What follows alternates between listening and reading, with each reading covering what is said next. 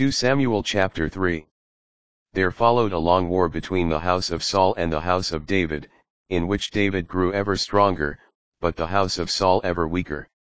Sons born in Hebron Sons were born to David in Hebron, his firstborn, Amnon, of Ahinoam from Jezreel. The second, Chileab, of Abigail the wife of Nabal of Carmel, the third, Absalom, son of Maacah, who was the daughter of Talmai, king of Geshur. The fourth, Adonijah, son of Haggith, the fifth, Shephisha, son of Abital. And the sixth, Ithream, by David's wife Eglah. These were born to David in Hebron. Ishbaal and Abner quarrel. During the war between the house of Saul and the house of David, Abner was gaining power in the house of Saul. Now Saul had had a concubine, Rizpah, the daughter of Aiah. And Ishbaal, son of Saul, said to Abner, Why have you slept with my father's concubine? Enraged at the words of Ishbaal, Abner said, Am I a dog's head from Judah? As of today, I have been loyal to the house of Saul your father, to his brothers and his friends, and I have kept you out of David's clutches, and today you charge me with a crime involving a woman.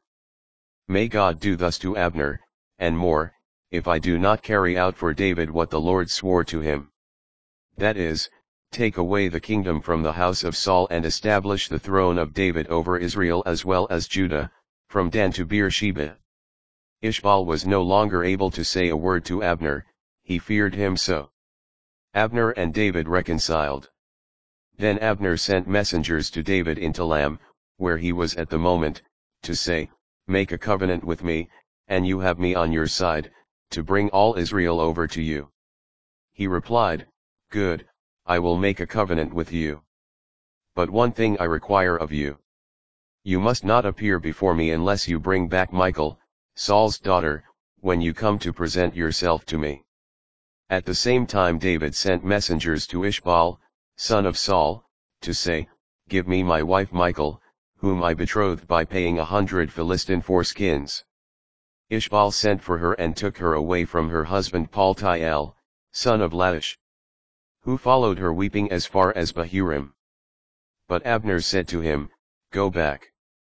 So he turned back.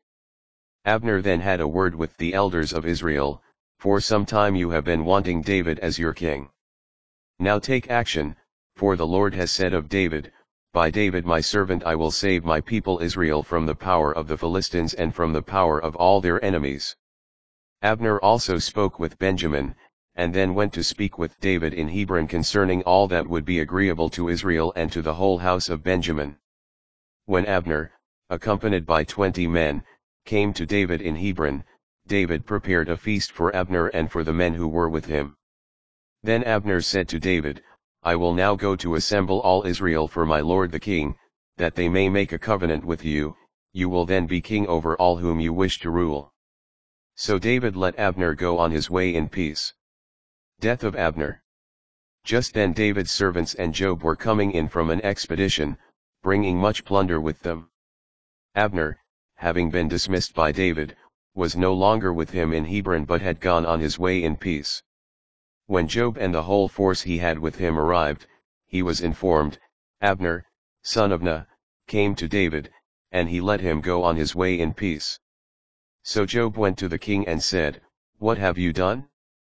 Abner came to you. Why did you let him get away? Don't you know Abner?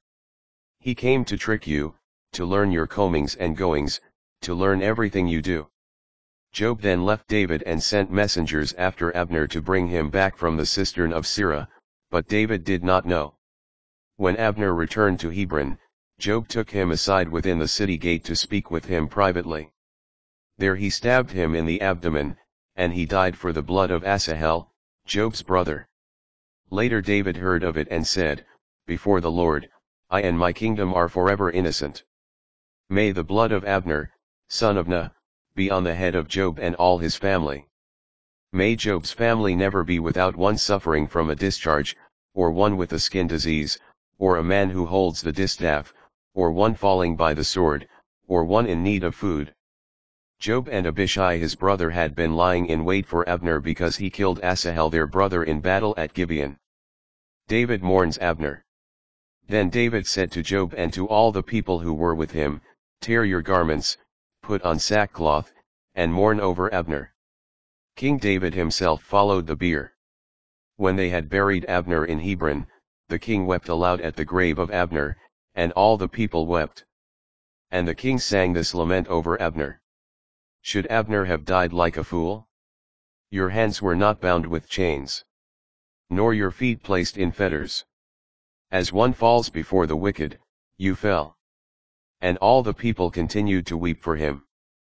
Then they went to console David with food while it was still day. But David swore, May God do thus to me, and more, if before the sun goes down I eat bread or anything else. All the people noted this with approval, just as everything the king did met with their approval. So on that day all the people and all Israel came to know that it was not the king's doing that Abner, son of Ner, was put to death. The king then said to his servants, Do you not know that a prince, a great man, has fallen today in Israel? 39. Although I am the anointed king, I am weak this day, and these men, the sons of Zeruiah, are too ruthless for me. May the Lord repay the evildoer in accordance with his evil deed.